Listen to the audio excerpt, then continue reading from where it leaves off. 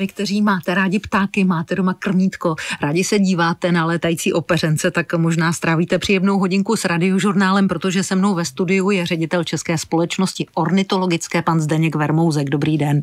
Dobrý den a já doufám, že bude opravdu příjemná. Bude. Eh, mně se eh, líbí vaše heslo vaší společnosti, které asi vzniklo už se vznikem společnosti od roku 1926. Společně pro ptáky a lidi.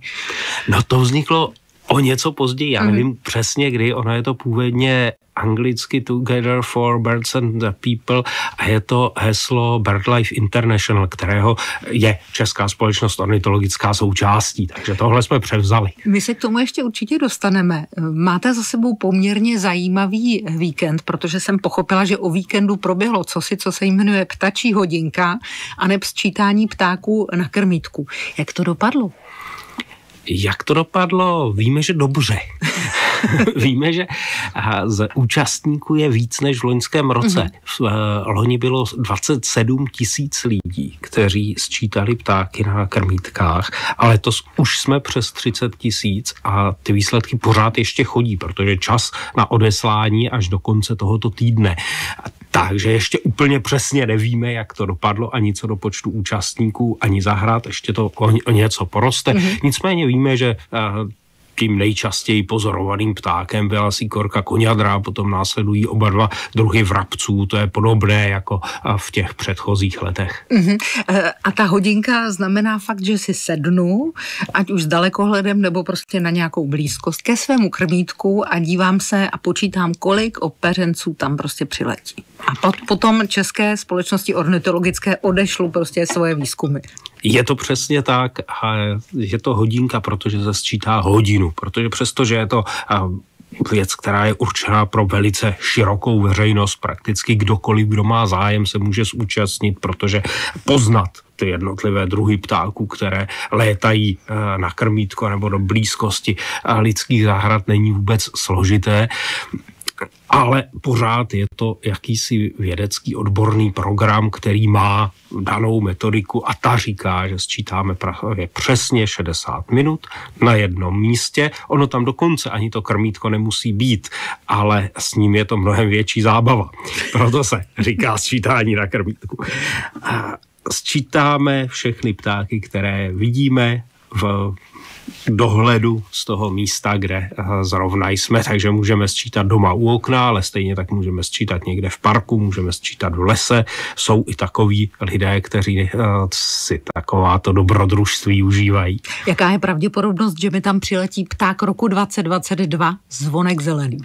A bohužel čím dál menší, hmm. respektive menší než v předchozích letech, protože to je ten důvod, o kterém asi budeme mluvit, proč je zvonek ptákem roku. Každopádně ale ta pravděpodobnost pořád je docela vysoká. Já teď nemám před sebou čísla, kdybyste chtěli vědět přesně, eh, v jakém procentu zahrad, na jakém procentu krmítek se objevil zvonek, tak se stačí podívat na web ptačí hodinky, najdeme jednoduše ptačí hodinka CZ a tam jsou i ty průběžné výsledky vidět, tam to uvidíme přesně jako čísílko.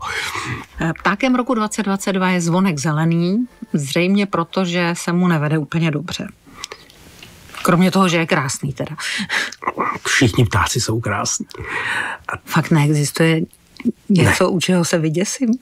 Neexistuje. Všichni ptáci jsou krásní. A čím víc toho o nich víme, tak tím jsou krásnější, tím jsou zajímavější, protože i to, jak vypadají, má nějaký význam vždycky. Mm-hmm. Ale to není důvod, proč jsme vybrali toho zvonka. Ten zvonek uh, má po, problémy v posledních deseti letech, tak jak by se dalo očekávat, stojí zatím člověk, ale stojí zatím úplně jinak, než si asi většina lidí představuje. A v tomhletom případě totiž za to, že se mu nedaří dobře aspoň do jisté míry může přikrmování ptáků na krmítkách. To zní divně. No já přemýšlím, že do těch krmítek dáváme něco, co potom způsobí, že mu není dobře. Ne, to právě tak vůbec není. My tam dáváme něco, co mu působí dobře. Působilo mu to dobře i před 20 lety a ten problém nebyl problém nastal, on je souvisí s přírodou, s přírodní dynamikou. V roce 2005 se ukázalo ve Velké Británii, že zvonci, eh, nebo že se u zvonku objevila nákaza trichomonózou, neboli byčenkou, ta byčenka? byčenka drůbeží, a neboli my říkáme též krmítková nákaza, protože se právě na těch krmítkách šíří. To znamená, někdo to tam přinese a on to dostane. Přesně tak. A ta byčenka to je prvok, to je eh, vlastně malinkaté jednobuněčné zvířátko, které žije v zadní části zobáku, v jícnu, ve voleti těch napadených ptáků a způsobuje tam dost výrazné léze, zduřeniny. Ve finále ten pták nemůže polikat a vlastně uhyne hladem. Je to asi docela nepříjemná záležitost pro něj. Každopádně ty byčenky tady byly vždycky a, a jsou celkem běžně v populaci holubovitých ptáků, objevují se se u dravců, který se, kteří se těmi holuby živí. No a někdy kolem toho roku 2005 se stalo, že nějaký kmen těchto těch uh, parazitů se naučil využívat jiného hostitele a to právě toho zvonka který na to není připraven a tím pádem počty zvonků poměrně výrazně klesají. Až a na tak, jdu a okamžitě vyčistím svoje krmítko. Pomůže to? Pomůže. Fakt? Pomůže. To je přesně to, co bychom měli dělat, pokud tedy nechceme přestat krmit úplně, což je jedna varianta, řekněme, extrémní, ale minimálně my bychom měli to krmítko sledovat, pokud krmíme.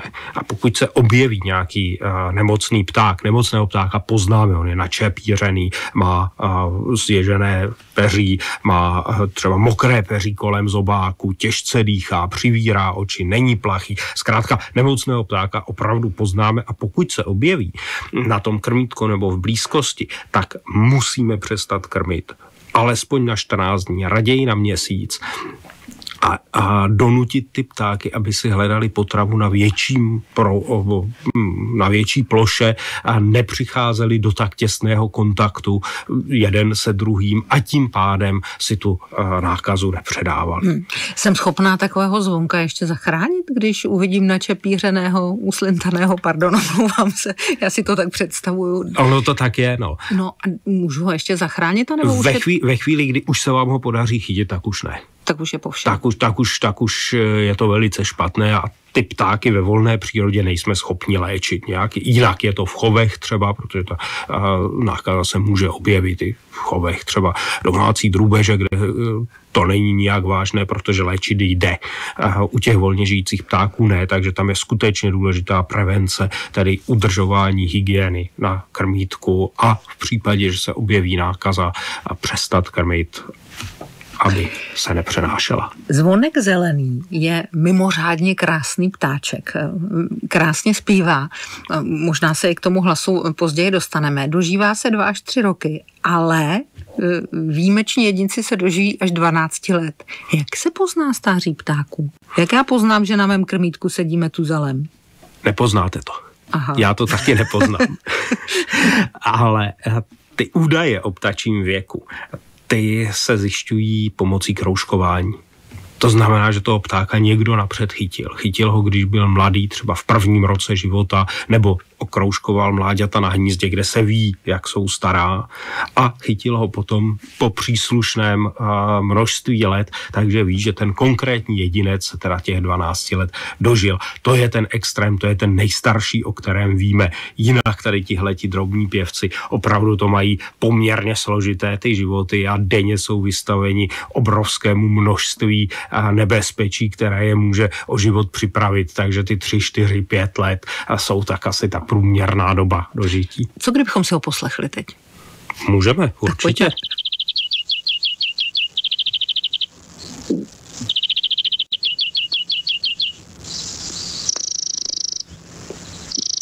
Takže dobrý pěvec.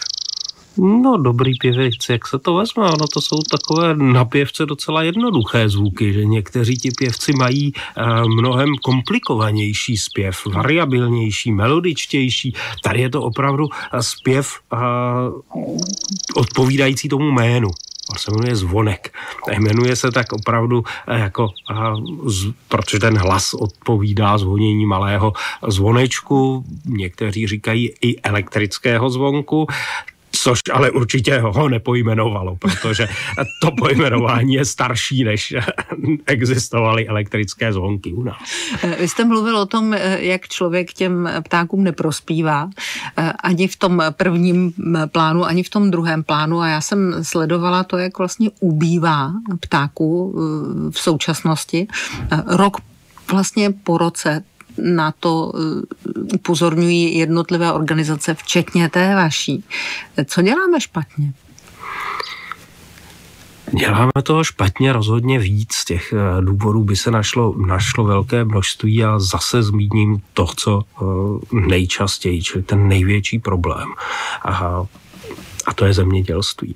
To je příliš intenzivní zemědělství, zemědělství, které eh, má příliš vysoké výnosy z jednoho hektaru a úplně zjednodušeně řečeno, na tom místě už nezbývá místo pro uh, kohokoliv dalšího, včetně těch ptáků. Skupina ptáků zemědělské krajiny nebo méně odborně polních ptáků je ta, která ubývá úplně nejvíc, největším tempem a tam bychom se měli snažit uh, něco změnit. A ono to ku podivu je i uh, reálné, uh, alespoň teoreticky, protože podobu zemědělství v celé Evropě, respektive alespoň Evropské unii, určuje společná zemědělská politika. Mm-hmm. To je Eh, zásadní dotační nástroj. Tam směřuje tolik peněz, že eh, prakticky všichni zemědělci nějakým způsobem v tomhle systému jsou eh, zainteresováni, jinak by nemohli fungovat, nebyli by konkurenceschopní. No ale tím pádem my máme i výborný nástroj k tomu, abychom řekli, ano, vy pracujete do určité míry za veřejné peníze. A za ty veřejné peníze je potřeba přinášet nějaké veřejné hodnoty. No, ochrana přírody, ochrana ptáků, ochrana krajiny, třeba i půdy proti erozi, vsakování vody a další věci, které s tím souvisejí, to jsou všecko veřejné hodnoty, které by se z těch veřejných peněz rozhodně podporovat měly. My by si zkrátka jako uh, společnost můžeme koupit zdravou krajinu, ale neděláme to. My si objednáváme ničení krajiny za eh, veřejné peníze. To je velice špatně. To teď může změnit pan ministr Nekula, ministr zemědělství v rámci nového nastavení zemědělských dotací. O tom se jedná opravdu v těchto dnech. Hmm. Takže ten, ta možnost ke změně tu je.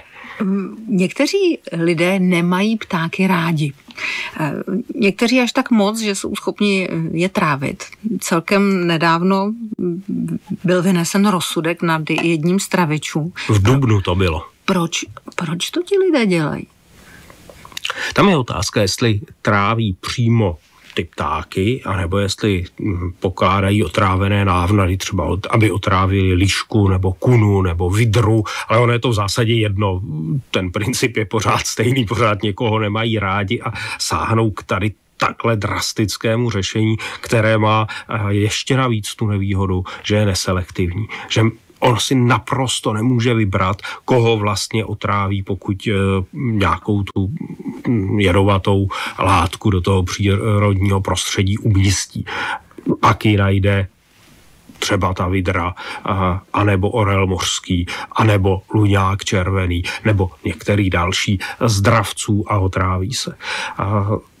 Ty důvody, proč to lidé dělají, jsou očekávatelné. Zkrátka někdo se eh, dívá na přírodu jako na zdroj eh, svého mm, majetku nebo uh, svého, své obživy. V tom případě toho odsouzeného traviče to byl rybníkář, který měl několik rybníků a, prostřednictvím otrávených návnat se snažil chránit své ryby, aby se s nimi, eh, aby se o ně nemusel dělit třeba s tou vidrou nebo s některým dalším predátorem. Alexandra píše, přestěhovali jsme se do nového domu, kde jsou větší skleněné plochy, ptáci do nich naráží a většinou to nepřežijí. Co pomůže? Siluety dravců na okna?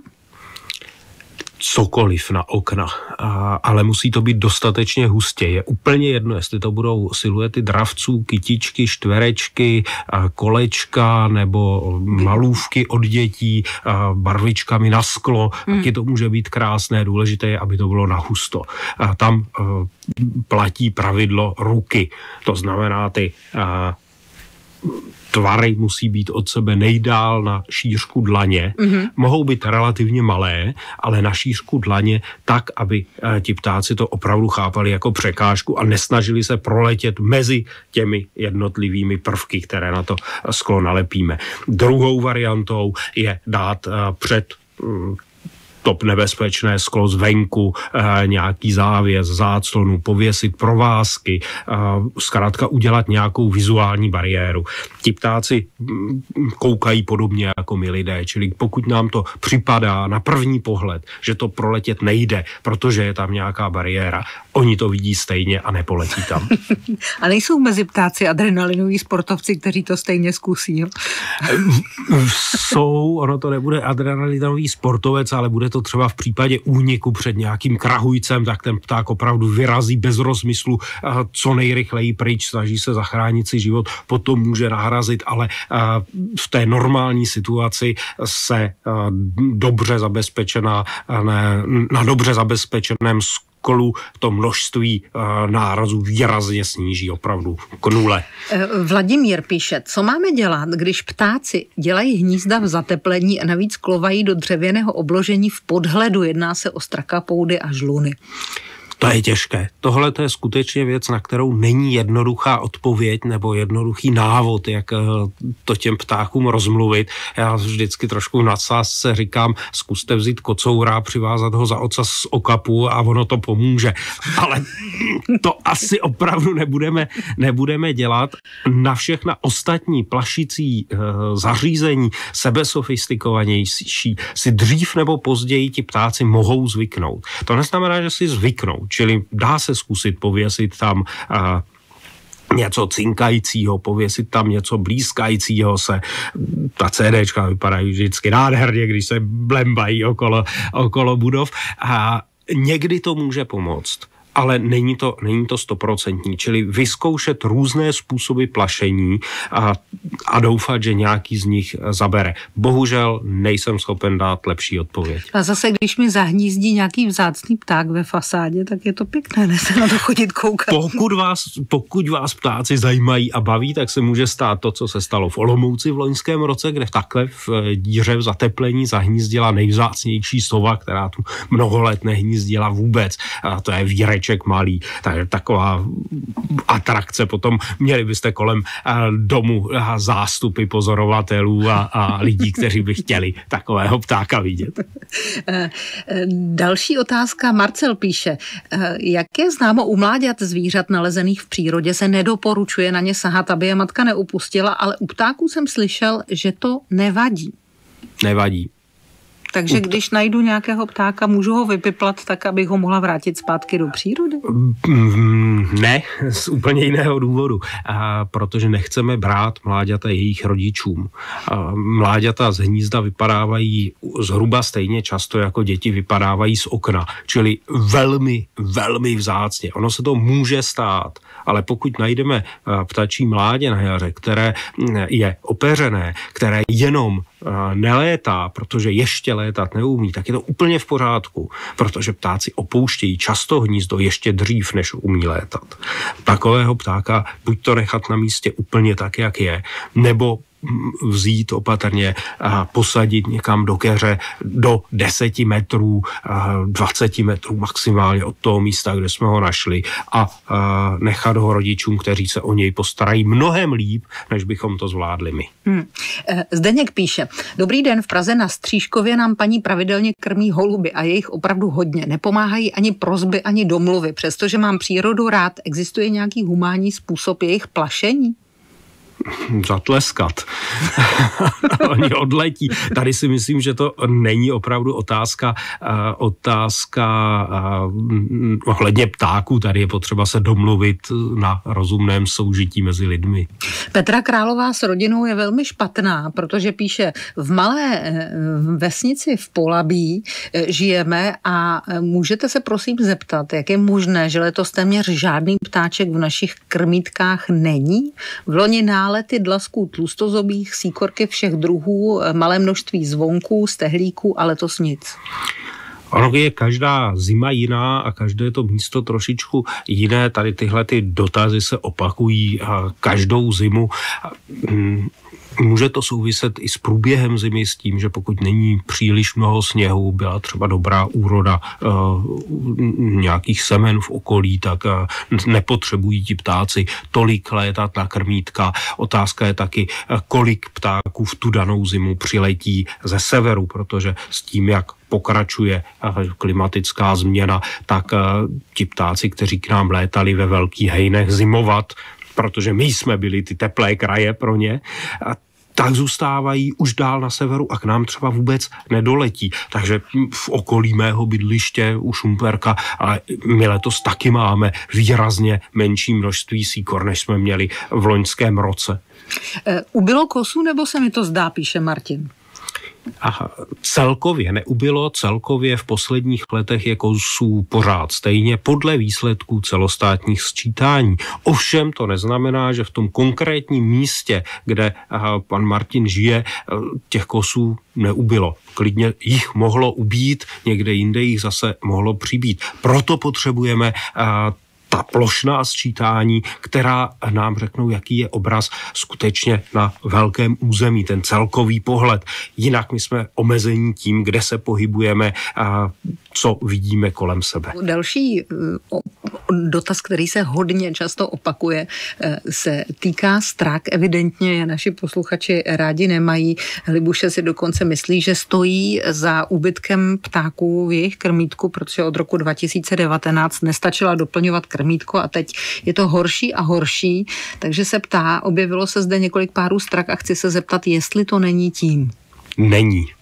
Tam je ta odpověď úplně jednoduchá. Straky výdáme častěji, protože se naučili žít ve městech, protože jsou to krkavcovití ptáci poměrně chytří, naučili se využívat nové prostředí, využívat různé odpadky, to, co jim ve městě nabízíme. Vlastně jsou to taky taková krmítka pro straky a za tím úbytkem drobných ptěvců opravdu nestojí. A na to už dnes existuje větší množství různých studií z různých míst eh, Evropy, které říkají prakticky totéž. Ty straky sice nějaká hnízda najdou v době hnízdění, nějaká hnízda zničí, ale to, není, to, to je naprosto normální, přirozená záležitost, na kterou ti mm, pěvci drobní jsou nachystaní. Oni okamžitě začnou hnízdit znovu, takže um, důležité je, kolik vyvedou mláďat za celou hnízdní sezónu. Pokud se jim to povede na poprvé, tak už třeba nezahnízdí po druhé, protože mají splněno. Pokud se jim to nepovede, zahnízdí po druhé, ale výsledek je že mláďata jsou, že uh, populace pokračuje. Čili jestliže nám ubývá drobných pěvců, musíme hledat uh, příčiny někde jinde. V úbytku v hmyzu, ve zhoršení uh, podmínek pro život těch ptáků, jakýchkoliv, ale ne ve strakách. Mm-hmm. Nehledejme toho jednoho, jednoho výníka, na kterého to svedem.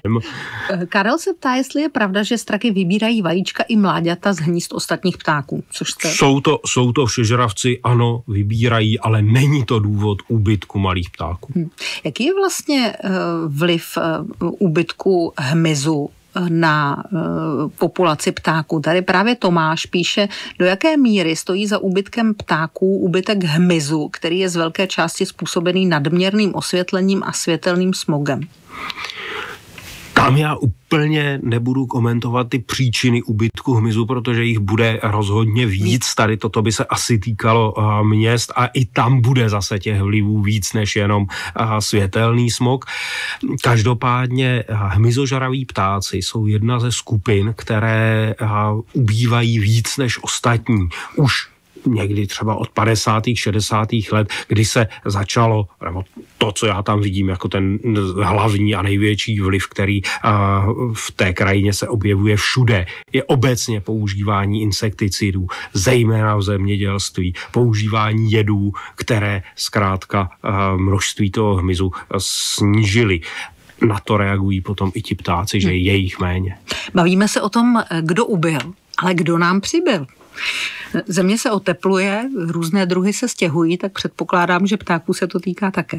Ptáků se to týká také a objevují se tu druhy teplomilné, které dříve, dříve nebyly často opakovaným příkladem je vlha pestrá, která hnízdívala v 80. letech jenom na několika místech. Byl to skutečně extrémně vzácný pták se severní hranicí rozšíření na Jižní Moravě. Dnes jak máme mnoho stovek po celé Moravě ale máme je třeba i severně od Prahy.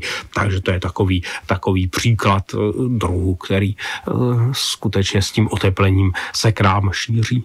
Když vstoupím do klubu 300, eh, budu mít šanci skutečně 300 druhů ptáků za rok spatřit v Česku?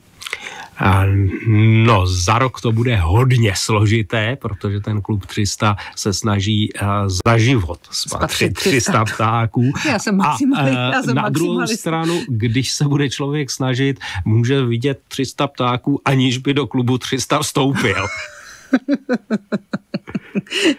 Kolik vlastně druhů ptáků u nás máme? Tam se to poměrně dobře pamatuje.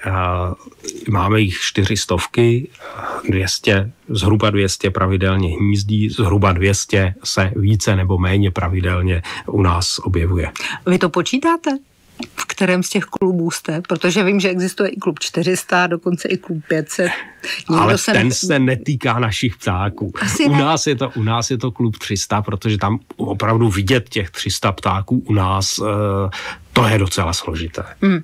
No a jak jste na tom vy? Já úplně přesně nevím. Nepočítáte to? No někde to, někde to spočítané mám, ale pro mě to opravdu není něco, co by bylo důležité, abych přesně věděl, hmm. kolik ptáků jsem viděl a, a aby pro mě byl rozdíl, jestli toho ptáka vidím o 10 kilometrů za hranicí třeba někde v Polsku a nemohl si ho za, započítat do takzvaného birdlistu českého. Jsou lidé, kteří to takto berou, kteří to pozorování ptáků ptáků mm, opravdu berou jako sport, který má nějaká pravidla. Já na ně spíš koukám jednak e, jako na nějaký estetický objekt, zkrátka mě to baví se na ně dívat a e, tam je jedno, kolik těch druhů to je a úplně stejně mě baví nějaký super vzácný pták, jako ty běžné síkorky nebo králíčci nebo co dalšího, šoupálek, spousta krásných ptáků. No a nebo potom jako na objekt výzkumu, kde zas člověk člověka zajímají úplně jiné věci. Někdy ptáci připraví eh, pozorovateli neuvěřitelnou podívanou.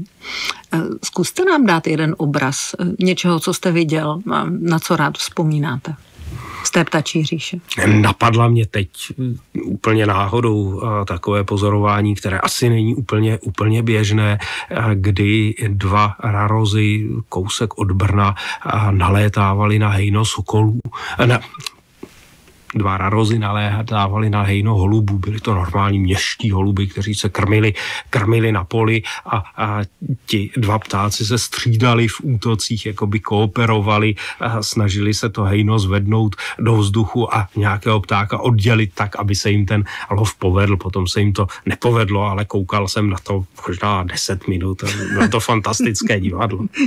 Když jsme u toho fantastického divadla, naši posluchači ho také rádi sledují, jenom žádají vaši radu odborníka, eh, která se týká toho, kdy je eh, nejlepší vlastně eh, doba na to pozorování krmítkové. Tady za všechny Helena Skrumlová, jestli je pro ptáky nějaký moment ráno, odpoledne, pěkné počasí, špatné počasí, kdy létají ke krmítku. No, oni když se na to podíváme z toho pohledu ptačího, oni se potřebují především nakrmit ráno po dlouhé noci, kdy mm-hmm. hladověli a večer před dlouhou nocí, kdy budou hladovět. A, a to hladovění tam opravdu není až tak nadsázka. Ti ptáci jsou malinkatí, mají obrovský povrch těla ve, v poměru ke své velikosti, ke své hmotnosti a tím pádem i veliké tepelné ztráty. Oni mají vyšší tělesnou teplotu, než má člověk, skoro kolem 40 stupňů. A když je venku třeba minus 15 a má takhle malá kulička peří, jako je třeba ten králíček, být zahřátá na 40 stupňů po nějakých 14, 16 hodin eh, po celou noc, kdy se nemůže krmit, tak ta ztráta eh, energie je opravdu veliká a ti ptáci jsou schopni ztratit třeba 15, 20 nebo i víc procent své hmotnosti za jednu noc. A oni musí tady tenhle ten, eh, tuhle energetickou ztrátu doplnit za další den, aby přežili další noc. Čili ráno a potom před večerem jsou ty doby, kdy oni se potřebují opravdu co nejvíc nakrmit. Fascinující. Zdeněk Vermouzek, ornitolog, host radiožurnálu. Děkuji moc za všechno, co jste řekl, ať se vám, vaší společnosti a všem lidem, kteří sledují ptáky a pečují o ně a mají je rádi daří. Ať nám všem ptáci dělají radost. Děkuji za pozvání. Já děkuji. Lucie Výborná od mikrofonu přeje dobrý den, ať se dneska daří i vám.